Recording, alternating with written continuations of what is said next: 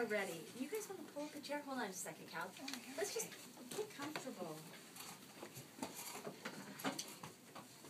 Okay. And I did, um, yes, yes, I did have a chance to. Okay.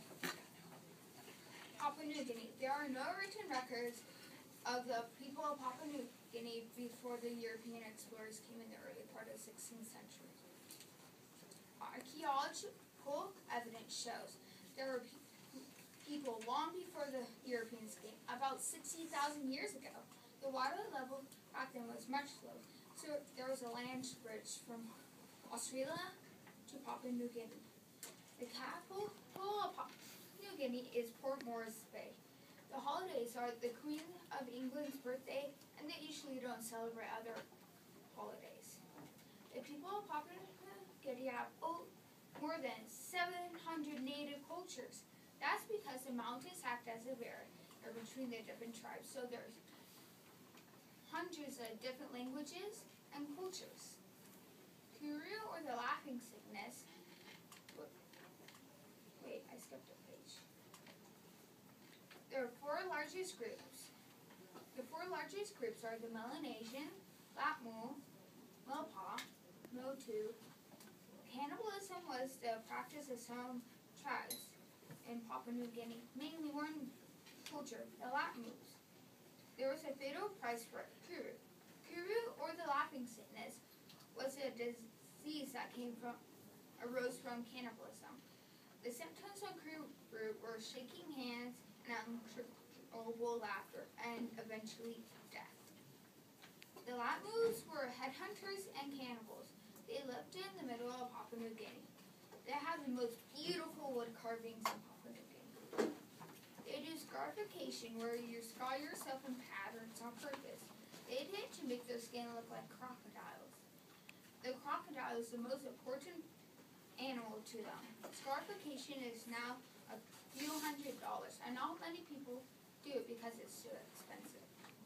The Melanesians are the group that helped Papua New Guinea get its name because of their frizzy hair. Papa means frizzy hair. The Melanesians' traditional dress is a laplap. A laplap is a cloth that they wrap around ourselves like a towel. The Mopo live in the north. They have healers, but they're only men. But if you're a woman, you can be you can come possess and tell the future.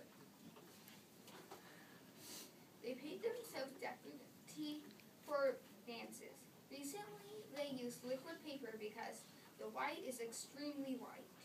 They have assigned friends that they give presents to for their whole lives. And the more generous you are, the more leadership you have. The Motu are the most affected by the outside world because they live on that sub south coast. They great they built great majestic ships from logs and coconut fiber sails that took 30 men to operate. They're very westernized now. A lot of people in Papua New Guinea are Christian because of the early missionaries there. But they are hold on to some of their traditional beliefs. Most tribes believe in spirit and spirits and ghosts. They believe that a crocodile split in half and its upper jaw became the heavens and its lower jaw became the earth. There are three main there are three official languages in Papua New Guinea. English, Tok Pisin, and Motu. English is their official language, but only 1 to 2% speak it. The first book ever published in Papua New Guinea was Crocodile by Vincent Eri in 1970. The people of Papua New Guinea use seashells as their currency. Most tribes in Papua New Guinea pay a bride price or gold pay a bride price with pigs and or gold etched seashells and now sometimes they use cash. A bride price is what man pays to his father-in-law for getting married. Even though people get married, men and women live separately. The men live in a house, with a cone-shaped roof all together, and the women live in a rectangular house. The children li- live with their mothers, but the boy go to the men's house when they're eight years old.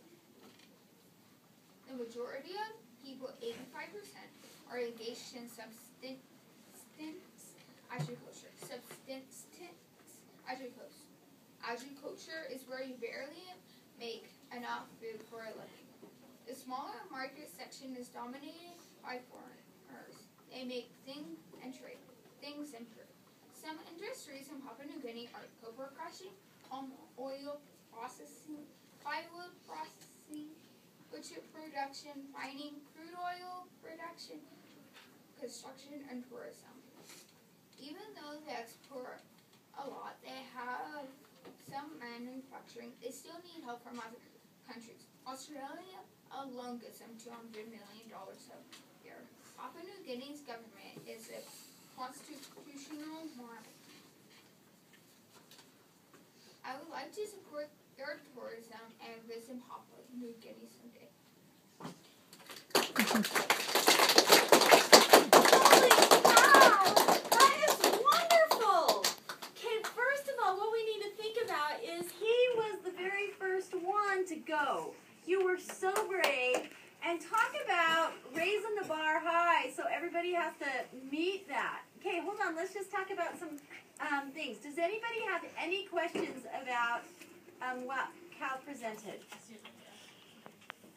Um, I didn't quite catch the other two languages, English and Oh, that's right. Topazine and Motu. I thought it was so interesting. Cannibalism, how it got its name, um, how they live. Cal, that was phenomenal. Iran. Here, the capital city. Oh, um, Port Mo- Morris Bay. Tim, How do you spell the capital city? Do you want to write it on the board, Cal? sure. And did you notice how he didn't have to look that up? He knew it right off the top of his head.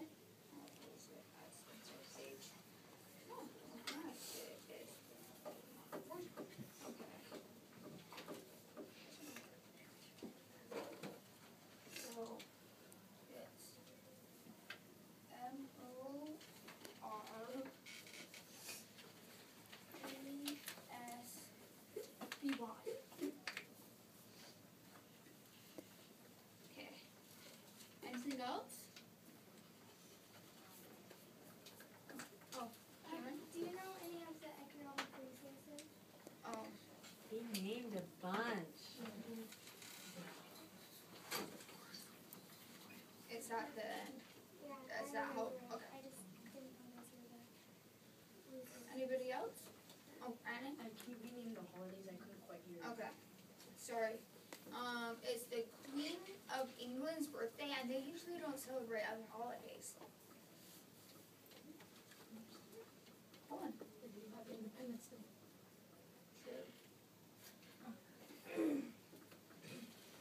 Okay. Um, you hear the government Um, constitutional monarchy. I heard that. Nikki? How do you spell their government? Because I got it, but I didn't know how to spell it. Um, I think it's okay. Constitutional. Just sound it out the best you can. if Monarchy. it's spelled wrong. Oh, Okay. And will somebody help me pass out treats? Josh, Noah, Josh. Hey, excellent job.